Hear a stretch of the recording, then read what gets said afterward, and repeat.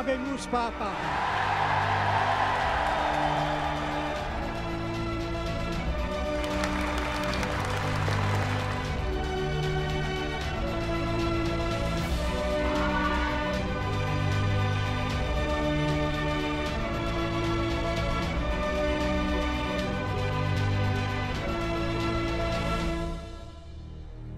y pedirles que recen por mí.